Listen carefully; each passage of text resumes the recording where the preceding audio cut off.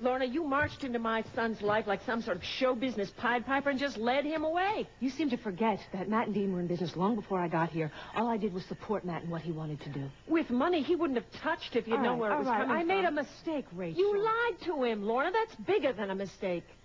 And like every other mistake I've made, I have been paying and paying for So, it. what are these mistakes going to do for Sam and Amanda? Well, maybe they'll learn from them just like I have. Maybe if they're real lucky, Mama Lion will back off and let them learn it on their own. Learn what, Lorna? That the world is full of predators just like you. If I were a predator, I would have left Bay City a long time ago and found better feeding grounds. Why didn't you? Because. Because of the company. I feel responsible to it. Yeah, you're responsible for a lot of things. But I'm not responsible for Sam's choice of a life.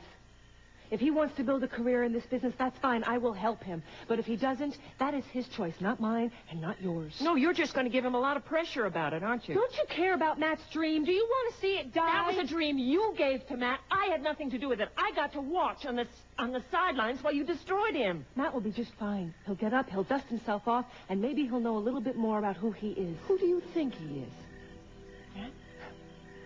I think Matt is a special, talented, smart, loving man.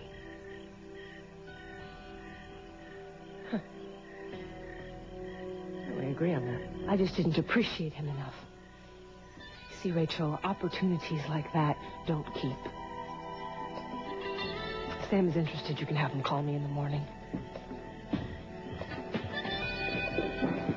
Mom, you're all right? I wanted this day to be perfect for you. Well, that's showbiz. Hey, what do you say, guys? We go back to the house and we take a long walk in the garden, okay? Clear our heads? All right. I'll lead the way.